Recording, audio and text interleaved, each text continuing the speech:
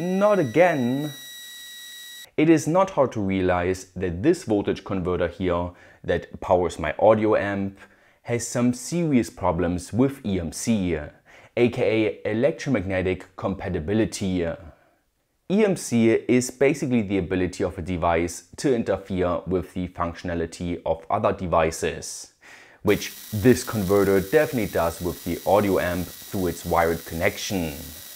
Another example would be the low power Wi-Fi jammer I accidentally created in a previous video. But there the interference was mainly done through radiation. Summarized we can say that EMC is super important. And that is why there are guidelines in place you have to follow if you want to sell your circuit boards. But I often wonder if these EMC guidelines were truly checked when it comes to cheap boards from Asia. For example, I got this super useful battery powered buck boost converter here that is so useful for your portable projects that I even redesigned it and sized down in a previous video. So now it is finally time to put them all to the tests and see which one is actually compliant with EMC guidelines. And if they're not, can we fix them in hindsight to make them compliant? Let's get started!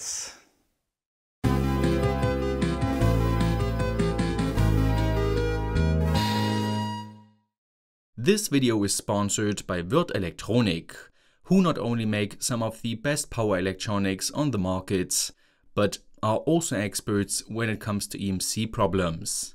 But you will see that very soon.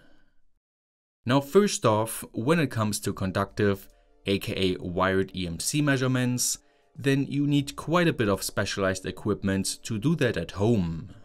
And when it comes to radiated ones, then there is no way you can do that at home, because you need a room that shields and absorbs all other radiated waves, along with a very unique probe.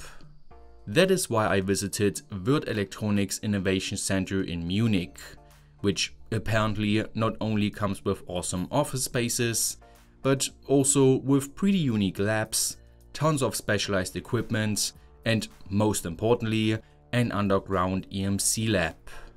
There they got one room for conductive EMC measurements and one for radiated EMC measurements. And luckily for me, I also got help from Lorandt, who is an EMC specialist that even got his own video series, if you want to check that out. And with that being said, we started off with the conductive EMC measurements. And since we had the lab for one day, we only focused on the Asia boards my initial smaller DIY design and my smallest DIY design. Now for the measurements, we for one pushed the boards to the limit by drawing the max current, and then did the measurements again with the load removed. This is important because when the max current is flowing, we are dealing with the maximum magnetic fields, and when no current is flowing, we deal with the maximum electric fields. And before I get to the results of this conductive EMC test, let me clarify that even though the boards usually get powered by a battery and not the power grids, these results are still super important. For example, if you got one big battery pack like in an electric vehicle, the conductive EMC interferences created by the buck boost converter would basically spread to all attached components and that can cause lots of problems. And with that out of the way, we got closer to finishing the measurements by using a LISN on the board's inputs, which is basically a model of our power grid's impedance across which we can measure and observe the current spectrum that gets drawn. This spectrum tells us what current harmonics get created, and according to EMC guidelines, they are simply not allowed to exceed a certain max value. And surprisingly, none of the boards did that. No matter if they boosted the input voltage up to 5 volts or reduced it down to 3.3 volts in buck mode. But if we want to go into detail, then my tiny version performed the worst, followed by the Asia board, and the best was my bigger DIY design probably due to the fact that it comes with more capacitors. By the way, these current harmonics come with a base frequency of around 2.4 MHz, which is of course the switching frequency of my converter IC, and thus obviously the main culprit for all possible EMC problems, that we sadly cannot get rid of because that is simply how switching converters work. But so far everything looked great, and thus we moved on to the radiation tests which were a bit more spectacular to look at.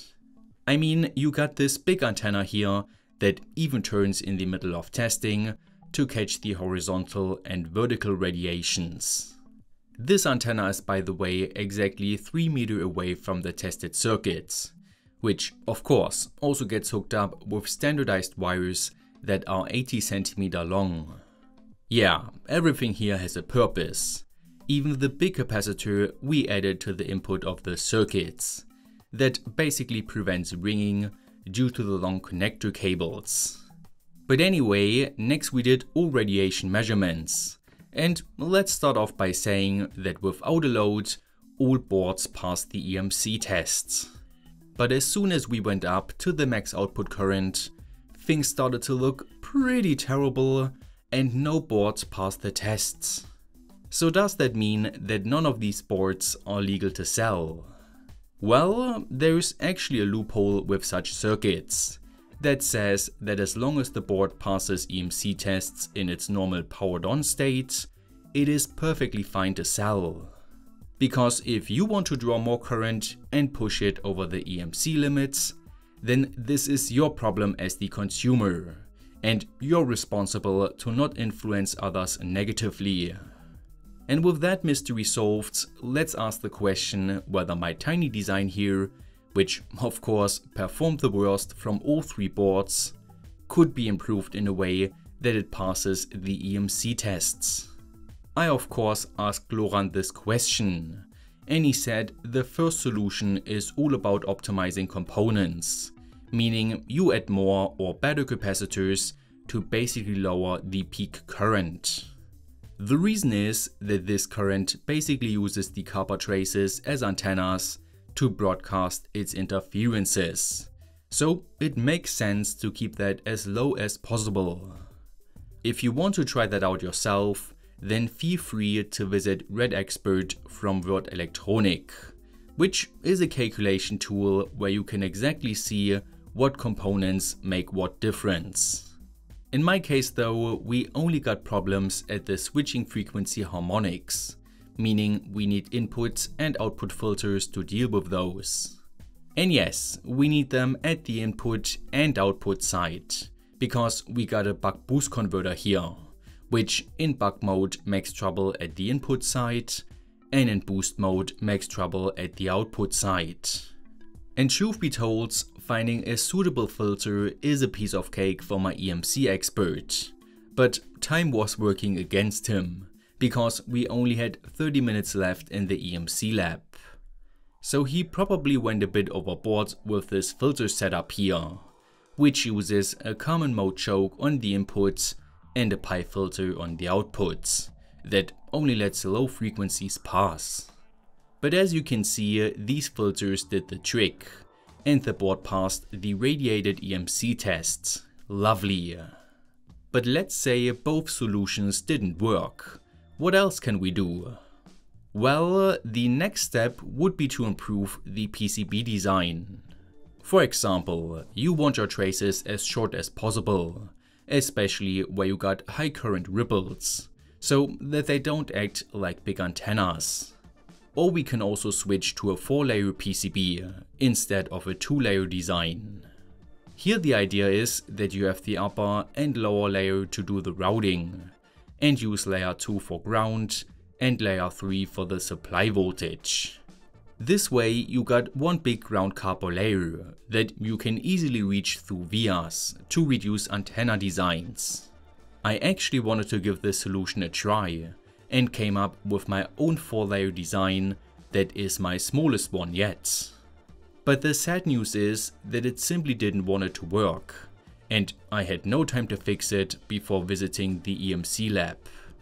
So yeah, that sadly didn't work out. But at least you're now familiar with the three big solutions when it comes to EMC problems. And I know that this topic is not super easy to digest, which is why I place some links in the video description where you can learn more about it. And with that being said, I hope you enjoyed this video as much as I enjoyed having fun in an EMC lab for a whole day. As always, don't forget to like, share, subscribe and hit the notification bell. Stay creative and I will see you next time.